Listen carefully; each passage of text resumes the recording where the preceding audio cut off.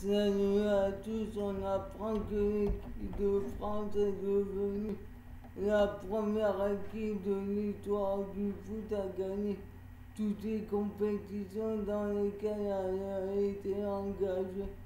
C'est les hommes, y compris chez les hommes, c'est les jeunes.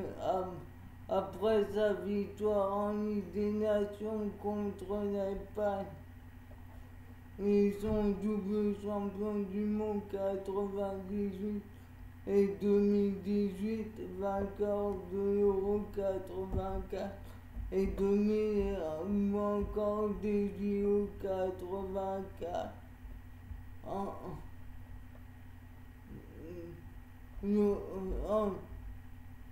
ils ont remporté le mondial des moins 20 ans en 2013, la Coupe du monde de moins 17 ans en 2020, 2001, l'Euro moins 21 en 88, l'Euro moins 19 en 1949, puis le tournoi junior de l'UEFA 83, 96, 97.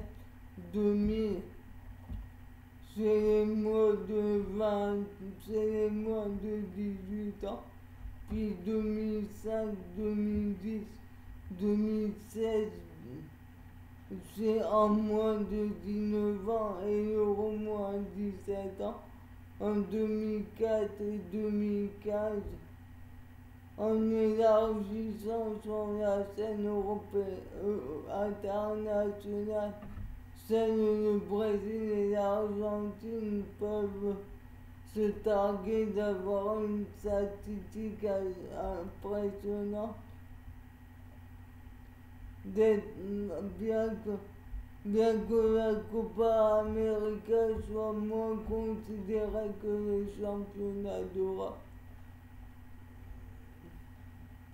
Suivez-moi sur ma chaîne YouTube.